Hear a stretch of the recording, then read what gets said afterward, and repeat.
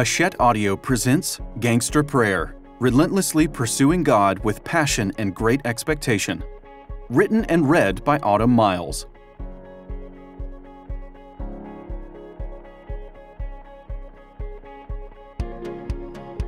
Chapter 1 My Wake Up Call.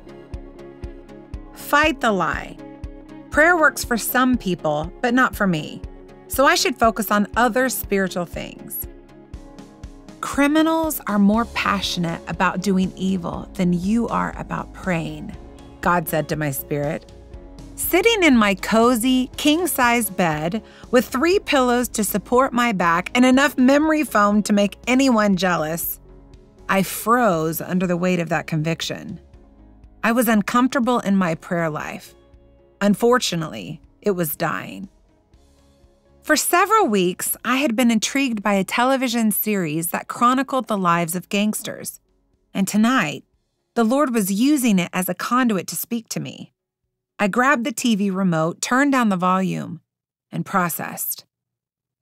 The show, a documentary of sorts, intrigued me by showing the passion with which gangsters or mobsters pursued their mission to climb to crime fame. Many rose to success because nothing was off limits to them not stealing, breaking the law, or even killing.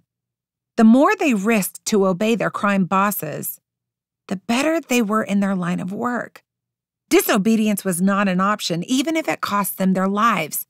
Actually, not following orders was a more certain way to go. The quest for money, power, and position was at the root of many of these crimes. But I found the gangsters' loyalty to be their most interesting character quality. They defended their bosses if anyone was disrespectful. If the gangsters were mistreated, they stayed the course. Even if someone went after their families, they would passionately claim loyalty to the Brotherhood and, in some cases, dismiss the assault as a casualty of the cause. So while I was observing real life gangsters' loyalty to their evil causes, God convicted me about my lack of loyalty to His. My prayer life was weak. It was pathetic. I don't even know if I would call it prayer. All I did was say a few words and add, in Jesus' name, amen at the end. It was a sad excuse for anyone who claimed to have a relationship with God. When I prayed, I had no faith. Thus, I saw absolutely no results from prayer. Prayer really confused me. I easily and quickly gave up if God didn't answer my prayer in the short amount of time I expected Him to. If anything, prayer only helped me check off an action item I felt was necessary to maintain the status of a good Christian. I would ramble the line, I'm praying for you, but I didn't follow through. I just said it for the sake of appearances. Honestly, I was a prayer fraud and I didn't like what I had become. I had watched God answer other people's prayers. I had seen people healed from terminal cancer and brought through financial woes. I had seen couples once labeled infertile give birth to children. I'd witnessed marriages destined for divorce suddenly be restored. But these miracles didn't seem to happen to me. I often wondered why God wasn't answering my prayers while constantly answering other people's. I desperately wanted to see results from prayer, but I had absolutely no idea how to make that happen. I was offended when the Spirit of God told me that criminals are more passionate about doing evil than I was about praying. But it sparked something inside of me. I couldn't deny that it was true. In the days and weeks to follow, I began to understand that I was missing out on a world of possibility because I was too lazy in prayer and too comfortable with my faith. That challenged me to begin a prayer life that produced results. I wanted to be the one that got my prayers answered.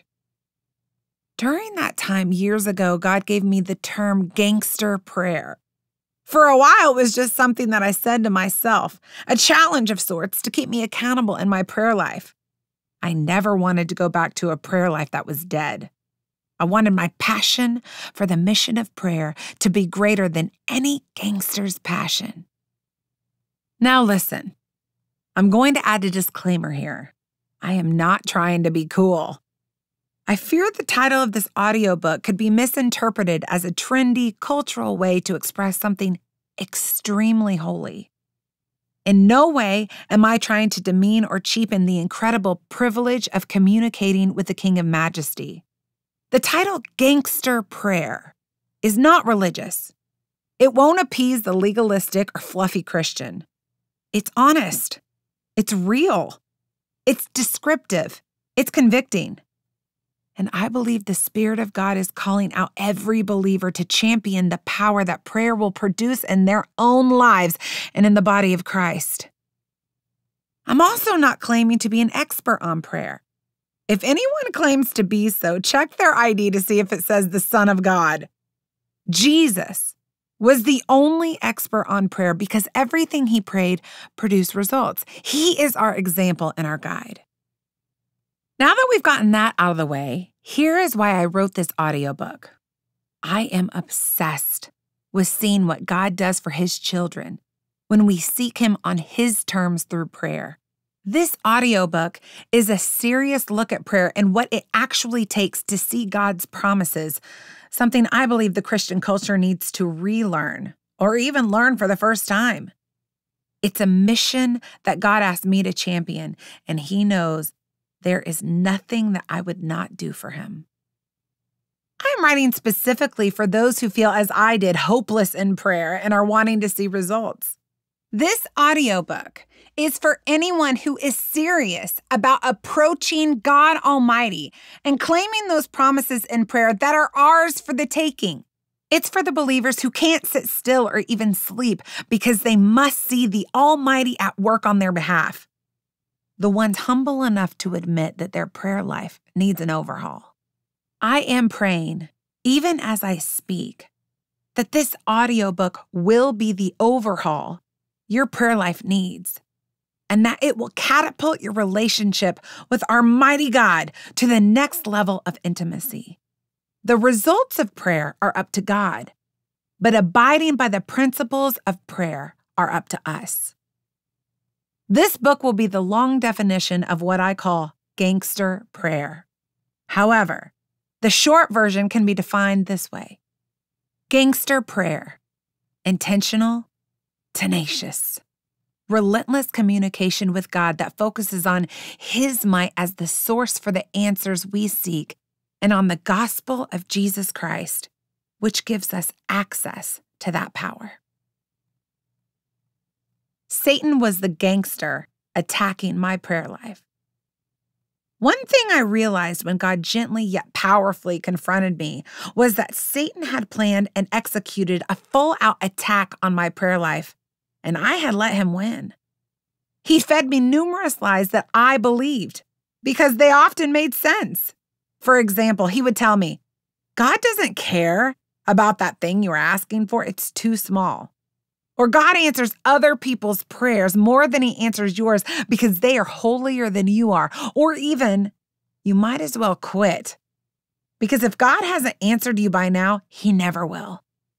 All these little lies assaulted my prayer life. They seem so realistic.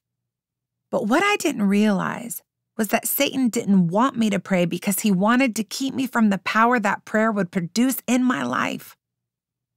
Satan's objective is to keep you from communication with the Lord, and he will stop at nothing to kill your prayer life. He isn't polite or nice in his mission. He isn't a cute red cartoon with a smile and a pitchfork. He will heap on distraction, doubt, hurt, busy schedules, or whatever he can to stop you from accessing the power of God through prayer. And if we Christians passively let him, we will forever be powerless prayer wimps. If your prayer life is dead, it's because Satan has become victorious over you. One of the biggest ways Satan is destroying the church is by supplementing our desperate need for true communication with God with counterfeit, powerless connections. Social media has proven humankind's ravenous desperation for communication and connection. The more we feel connected on social media, the more we want to connect. The more likes, follows, shares, and comments we get, the more we feel validated. But social media is Satan's pacifier for prayer, and it will never truly satisfy us. It doesn't meet our greatest need. We hope you enjoyed this preview. To continue listening to this audiobook on Google Play Books, use the link in the video description.